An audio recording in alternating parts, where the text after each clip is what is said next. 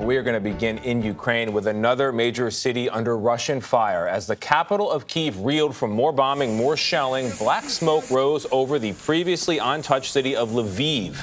After a strike there on what's said to be a facility that repairs military aircraft, Lviv, largest city in the western part of Ukraine, about 40 miles from the Polish border and NATO territory. Charlie D'Agata uh, is in Kiev for us. Charlie, this is a shift in direction for sure. Good morning to you.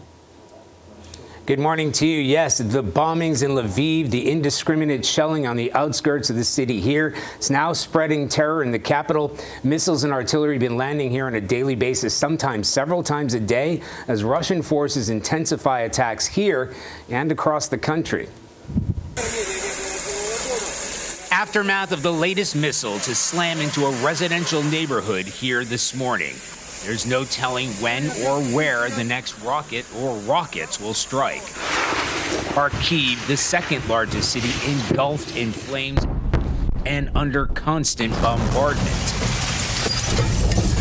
And in the besieged city of Chernihiv, an American teacher among dozens of Ukrainian civilians killed 68 year old Jimmy Hill, who had stayed in Ukraine to look after his partner Irina, suffering from MS.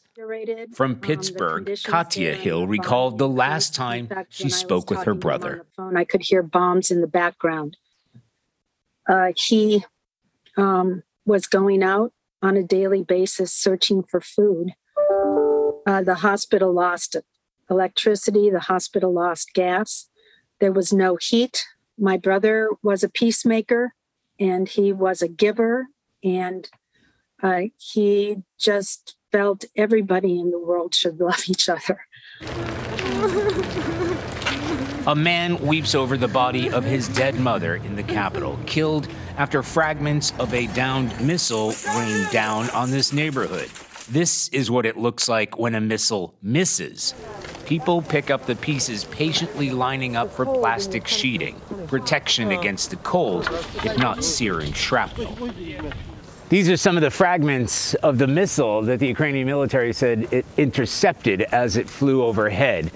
And it caused incredible destruction at this building and surrounding buildings. You can see why people are so worried about what may come.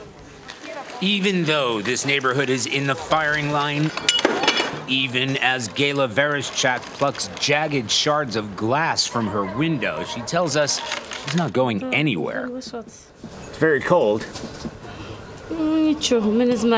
It's okay, we won't freeze. She says love warms us up. Do you have a message for America? Peace in Ukraine, no more war, and that Putin comes to his senses and gets a brain. And we have an update on that bombed theater in Mariupol where there are fears of like a thousand people taking shelter. This morning, Ukrainian officials say around 130 people have been rescued so far. Vlad? Charlie D'Agata in Kiev. Charlie, the Ukrainian spirit continues to inspire everyone. Thank you very much. We appreciate it.